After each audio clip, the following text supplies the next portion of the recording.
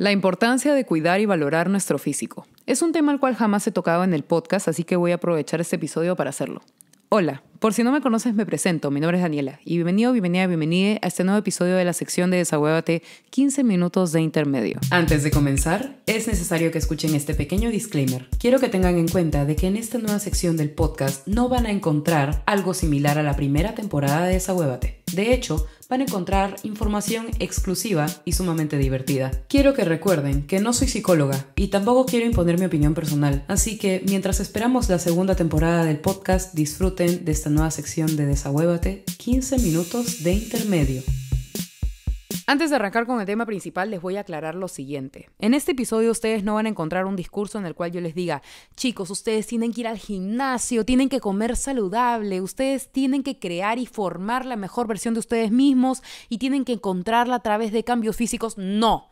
Yo no me voy a ir a lo superficial, no voy a hablar de cambios físicos, yo no les voy a decir, chicos, vayan al gimnasio, opérense, nada que ver por ese lado. ¿Ok? Así que desahuévate si quieres entender por qué voy a hablar de ese tema y por qué es tan relevante, ¿ok? Bueno, habiendo dejado claro el punto anterior, les voy a explicar de qué va este episodio. Y para esto les voy a contar una anécdota personal, ¿ok?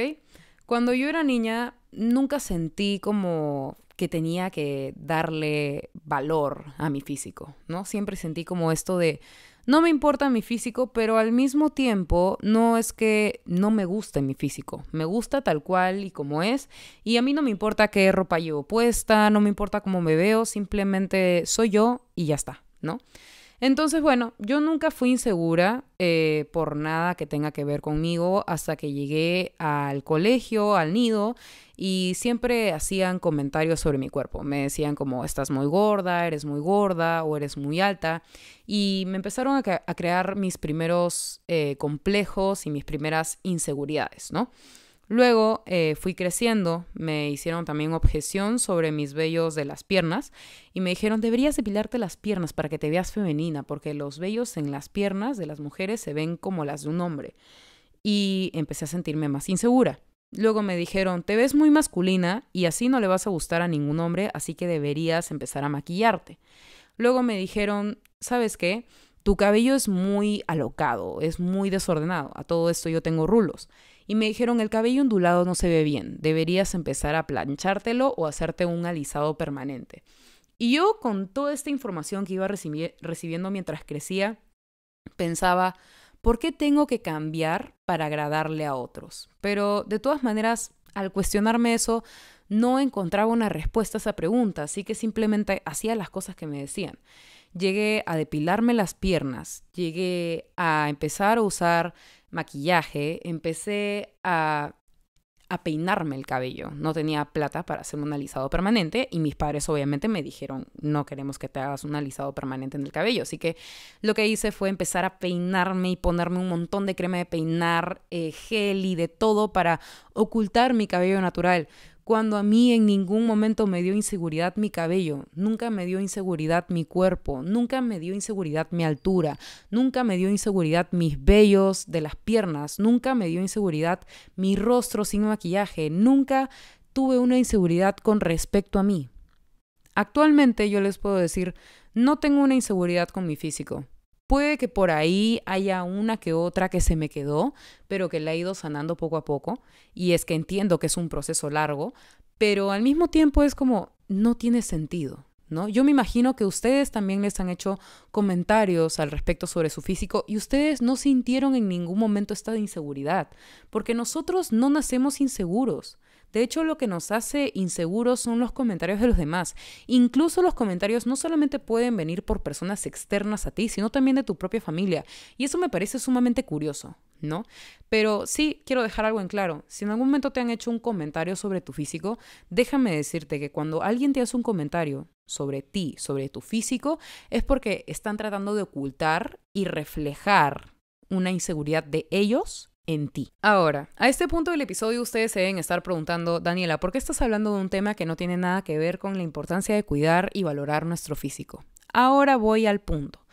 Lo que pasa es que hay personas que nos han tratado de enseñar o imponer su manera de entre comillas, cuidar el físico, ¿ok? Y mucha gente puede haberte dicho, deberías hacer ejercicio, deberías comer sano, deberías maquillarte, deberías cortarte el pelo, etcétera, etcétera, etcétera, etcétera, ¿ya? Y yo tengo la siguiente idea sobre cuidar nuestro físico. Uno cuida su físico como se quiera a uno mismo, ¿ok? Y tú cuidas tu físico a través de lo que has escuchado y lo que te ha causado inseguridad, o cuidas tu físico a través de lo que tú consideras que a ti te gusta y tú quieres hacer, ¿ok? Entonces le voy a dar estas dos visiones. Ustedes pueden decidir, ya, Daniela, yo nunca más me quiero lavar los dientes. Y yo te digo, tú no quieres lavarte los dientes porque estás haciendo una, un acto de rebeldía contra las personas que te dicen lávate los dientes, o lo estás haciendo porque simplemente no quieres hacerlo, ¿ok? Es un ejemplo muy básico, pero a lo mejor hay personas que me entienden. Hay personas que cuando recepcionan un comentario que los ha hecho sentir mal con respecto a su físico, se niegan a cumplir ese hecho que les ha tratado de enseñar o imponer la otra persona. Entonces ustedes asumen como, ah, bueno, esto es algo que no debo hacer porque esta persona me lo mencionó, así que voy a tomar mi acto de rebeldía como lo que yo debo hacer frente a esta situación. Pero la verdad es que no. Si tienes ganas de lavarte los dientes, lo vas a hacer. Y sé que suena súper raro que yo mencione este ejemplo, pero yo conozco personas que me dicen, la verdad yo no me lavado los dientes, no, nunca me lavo los dientes porque genuinamente no me interesa. O sea, por ahí mi viejo me ha dicho como que, oye, lávate el hocico y la puta madre, pero yo no quiero lavarme los dientes. Y es como, oye, es parte de ti. Cuida tu templo, cuida tu cáscara. ¿Por qué digo cuida tu templo o cuida tu cáscara, porque nuestro físico es nuestro templo y nuestra cáscara, los cuales debemos cuidar como oro, porque a final de cuentas tú vas a seguir viviendo y debes cuidar de tu físico, de tu físico como a ti te parezca, ¿ok?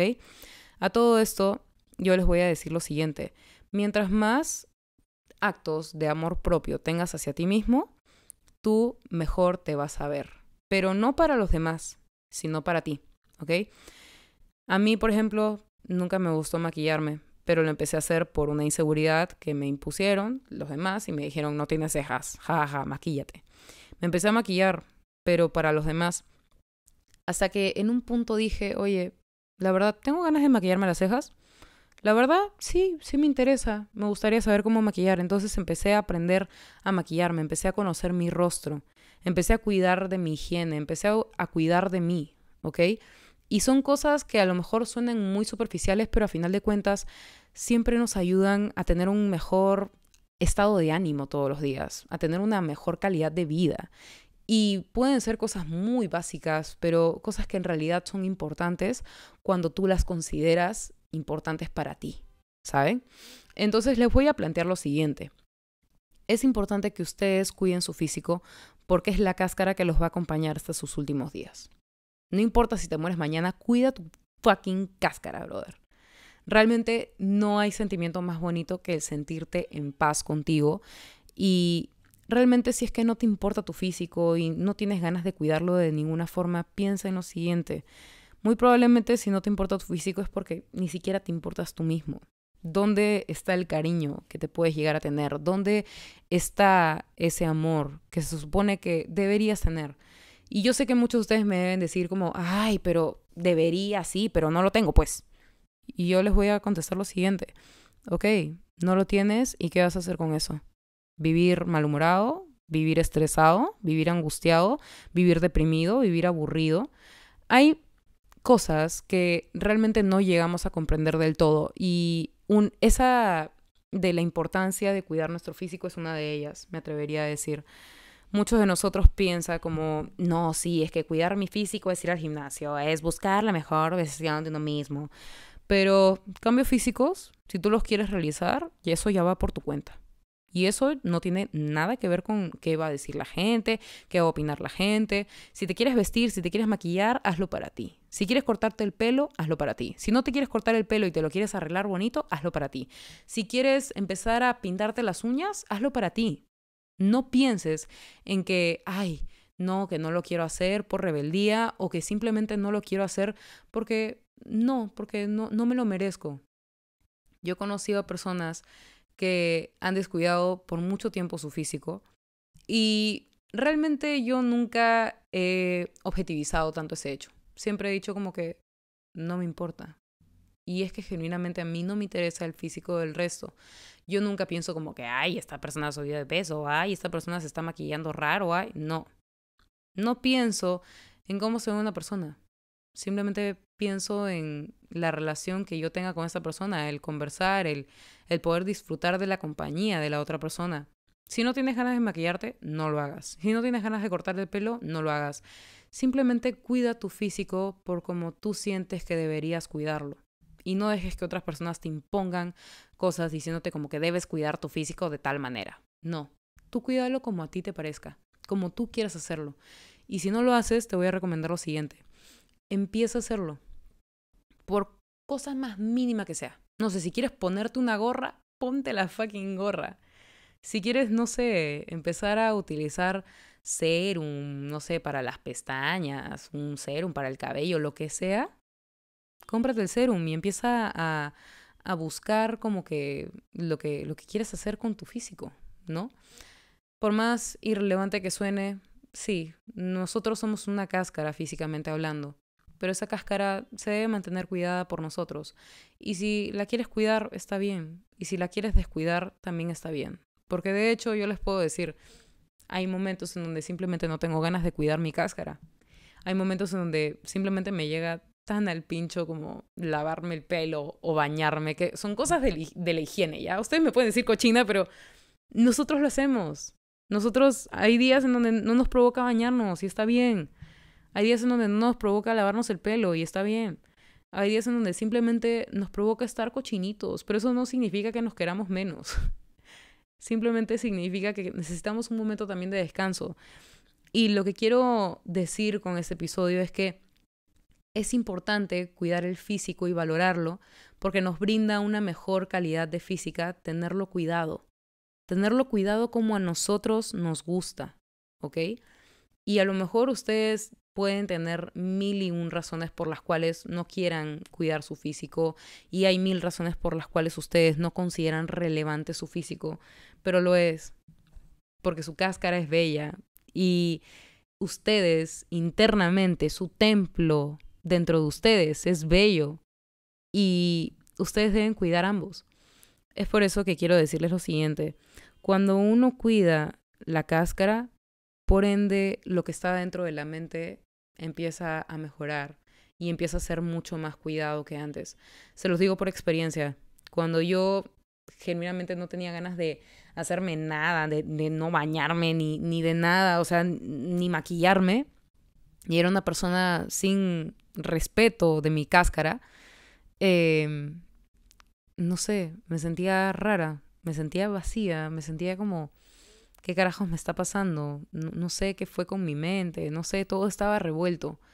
Pero un día empecé a poner orden, empecé a cuidar mi cáscara, empecé a cuidarme a mí y mi mente automáticamente empezó a llevar un ritmo y un orden el cual nunca había encontrado. Y es por esto que les brindo este episodio, porque quiero que sepan que la importancia de cuidar y valorar nuestro físico somos nosotros. Ese es el valor y esa es la importancia. ¿Ok? Nosotros mismos somos la razón y el motivo más importante por el cual debemos cuidar nuestra cáscara. Así que hazlo como a ti te nazca, hazlo como a ti te plazca. Realmente tú no tienes que seguir los consejos de nadie al pie de la letra. No tienes por qué hacerle caso a comentarios de gente que simplemente considera que sus maneras de cuidar su físico es la correcta. Hazlo como a ti te plazca y estará bien. Pero sobre todo, trata de encontrar un pequeño orden y que sea para ti y por ti, porque lo vales y tu cáscara lo vale. Así que trata de cuidar esa cáscara porque tú mereces ser cuidado. Y no solamente se cuida la mente, sino también el físico. Se debe cuidar el templo y se debe cuidar la cáscara. Cuando uso estos dos términos, cuando digo el templo, es nuestra conciencia, nuestro ser y nuestra mente. Y cuando digo cáscara, es lo que llevamos como físico, ¿ok? Y nada, eso es todo. Espero que les haya servido de algo el episodio de hoy, espero que les haya gustado. Si es que a lo mejor creen que este episodio le pueda servir a alguien que conocen, compártanselo. Lamento mucho que he hablado bastante pastrulada. Eh, en Perú esa expresión significa como locura. Pero bueno, no sé, simplemente tenía ganas de hablar de ese tema el día de hoy. Y eso es todo. Espero que les haya gustado. Y si necesitan algún consejo, ya saben que me pueden escribir. Mi Instagram es arroba delukidani. Y bueno, eso es todo. Les mando un abrazote y espero que tengan una muy linda semana. Nos vemos el próximo jueves en un nuevo episodio de 15 minutos de intermedio. Y ya saben que todos los lunes y viernes hay consejo del día. ¿Ok? Eso es todo. Un abrazote. Los amo.